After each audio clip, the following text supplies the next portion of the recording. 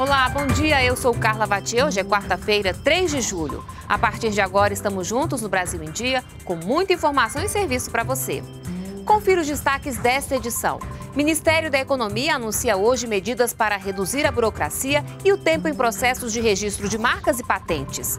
Sem acordo, estados e municípios ficam de fora da reforma da Previdência. Mas uma empresa aérea de baixo custo recebe autorização para operar aqui no Brasil.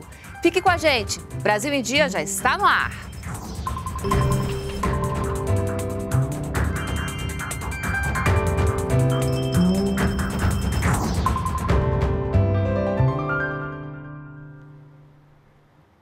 São 9 horas e 45 minutos. Estamos ao vivo também pelas nossas redes sociais. O governo anuncia daqui a pouco medidas para reduzir a burocracia e o tempo nos processos de registro de marcas e patentes. Vamos então agora conversar com o repórter Pablo Mundim, que tem mais informações para a gente. Olá, Pablo, muito bom dia para você. Bom dia, Carla. Bom dia a todos que nos acompanham. Essas medidas que serão anunciadas logo mais pelo ministro da Economia, Paulo Guedes, pretende dar maior agilidade e reduzir custos em processos de registro de marcas e patentes de empresas brasileiras.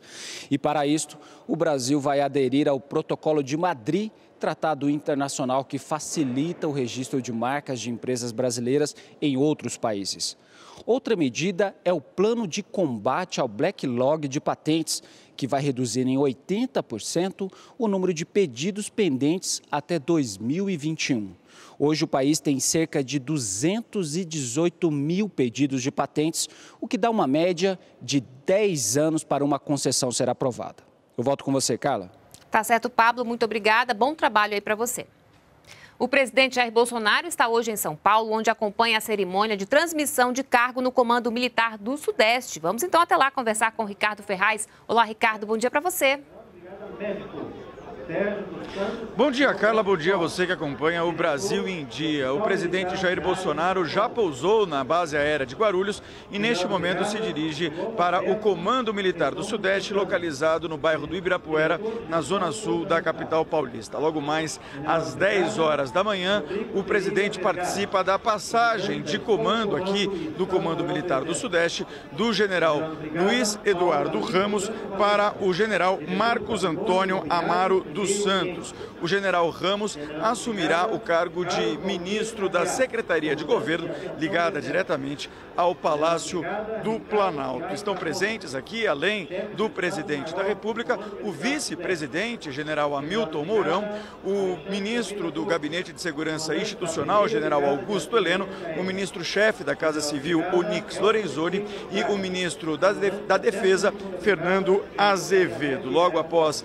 essa transferência, de cargo, o presidente da República se dirige novamente a Brasília, onde tem um compromisso logo mais às 8 da noite no Palácio do Planalto, a comemoração do aniversário da independência dos Estados Unidos da América. Esta solenidade de passagem de comando você acompanha logo mais às 10 horas da manhã no canal TV Brasil 2.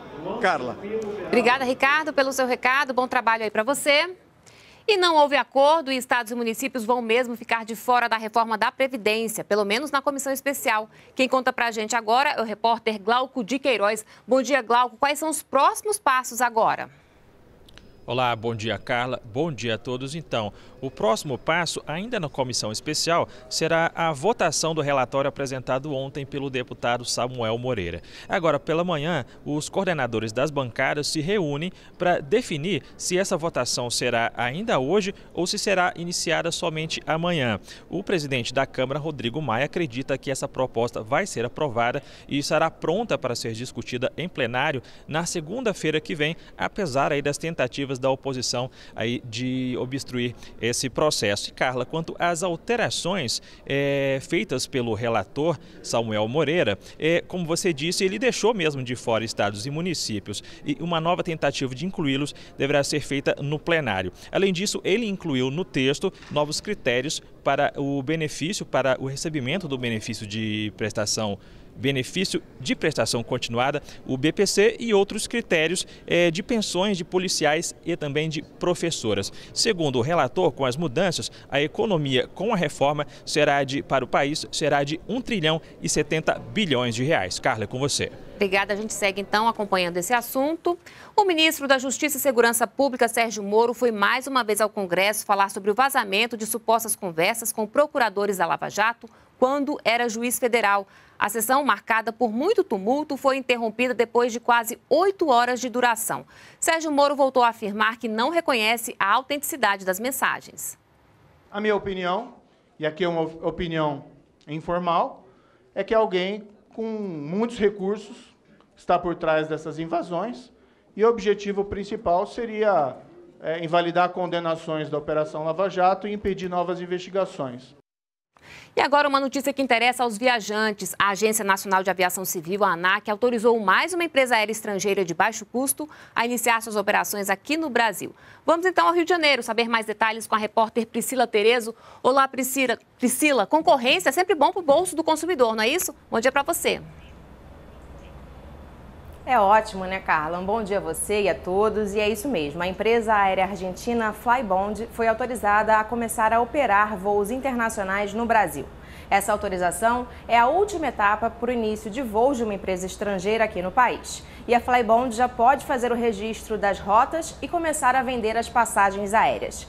Essa empresa adota um modelo de baixo custo e informou que vai operar inicialmente com três voos por semana entre Buenos Aires, na Argentina, e o Rio de Janeiro a partir do mês de outubro. Segundo o ministro do Turismo, Marcelo Álvaro Antônio, esse é mais um passo para aumentar a conectividade aérea e para impulsionar o interesse de empresas estrangeiras a operar no mercado brasileiro. A Flybond vai ser a terceira empresa do segmento de baixo custo a voar no Brasil. A primeira foi a, chilena Sky Airline em novembro do ano passado e em seguida a Norwegian Air, que opera voos entre Londres e Rio de Janeiro. Voltamos com você, Carla. Obrigada, Priscila, pela sua participação.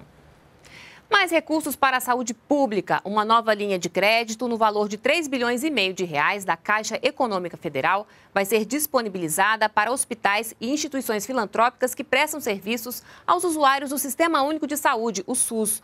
Os recursos são do FGTS. O ministro da Saúde, Luiz Henrique Mandetta, disse na Câmara, durante o lançamento da nova linha de crédito, que esse dinheiro deve ajudar a diminuir as dívidas das Santas Casas. Não é o melhor dos mundos, porque o melhor dos mundos seria se nós tivéssemos os contratos todos equilibrados. Mas, sem dúvida, é a maior oferta de crédito e ampliação é, até 120 meses para se alongar o perfil da dívida e diminuir o valor das parcelas, o que a gente acredita que vai dar um fôlego para o setor para a gente discutir um orçamento nessa casa esse ano mais realista para o setor hospitalar brasileiro. Hora de saber como fica o tempo em algumas capitais.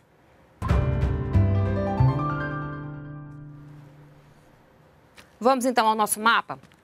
Olha só, nós temos aqui Boa Vista e João Pessoa, pancadas de chuva. Em Campo Grande e em Vitória, o céu está parcialmente nublado. E em Curitiba vai chover de tarde. Vamos agora às temperaturas mínimas e máximas. A gente troca agora o mapa?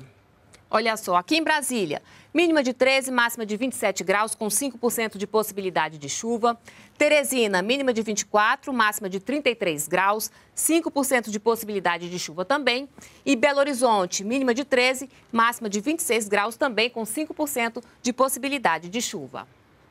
O inverno começou, mas parece que apenas no calendário. Por enquanto, o calor ainda está dando o tom da estação. E a culpa é do El Ninho. Veja na reportagem. Os casacos estão a postos. O sol ilumina e ainda não esquenta quem está indo para o trabalho. Mas todos sabem que isso é passageiro. De tarde tem feito solzinho, né? Domingo fez sol, foi, foi até a praia, no inverno, né? Em Copacabana, a praia mais famosa do Rio, nem parece que estamos naquela que deveria ser a estação mais fria do ano. Tá com cara de inverno? Não, isso é o normal do Rio de Janeiro, né? Temperaturas em torno de 25, 26 graus. Por exemplo, agora está 23. Nós passamos a semana passada toda acima de 30. É normal, né? A amplitude térmica, diferença entre a temperatura máxima e a temperatura mínima registrada durante o outono. e neste começo de inverno está maior do que o normal. Fenômeno El Ninho está atuando, mas com fraca intensidade, o que ele dificulta a passagem das frentes até nossa latitude, portanto dificulta a entrada de massas de ar frio que vem do sul do país. Né? Apesar das temperaturas mais elevadas para esta época do ano por influência do El Ninho, a previsão é que isso mude. Os meteorologistas dizem que o frio no inverno vai aparecer, principalmente neste mês de julho. A chegada de uma grande massa polar já nesta semana deve fazer as temperaturas caírem no sul do país. Como nós vamos ter esse fim de semana, né, já temos uma incursão de massa de ar frio, talvez vai dificultar um pouco os turistas que estão na, na cidade. Né? Tirar o casaco do armário, né?